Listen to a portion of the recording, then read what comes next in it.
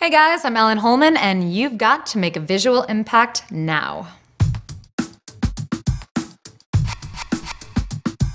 As a child, uh, probably around seven or eight years old, I was blind as a bat.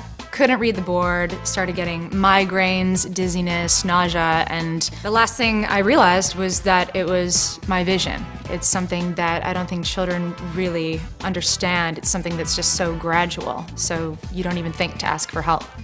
In 2008, I founded Visual Impact Now, which is an official 501c3 organization dedicated to providing eye care for our in-need LA youth. There are over hundreds, if not thousands, of children in the Los Angeles area that are severely in need of eye care that may never get it.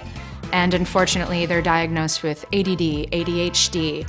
They're, they're told they're stupid or not capable, and many of these children feel vulnerable and end up in gangs. They end up aggressive, they end up violent when all they need is a pair of glasses. I did have a really amazing experience with a young guy who was about six or seven years old, and his eyesight was so severe it actually broke our machinery. Unbelievable, we've never had that happen before. And I was able to be there for the aha moment, which is where we were able to provide him with a pair of lenses for the first time in his life. And once we placed them on his eyes, he started looking around and just started squealing and, and, giggling. And he started pointing in the sky and saying, What is that? What is that? And it was a bird. He'd never seen a bird fly before. And that was one of the most heartwarming moments that I've ever experienced.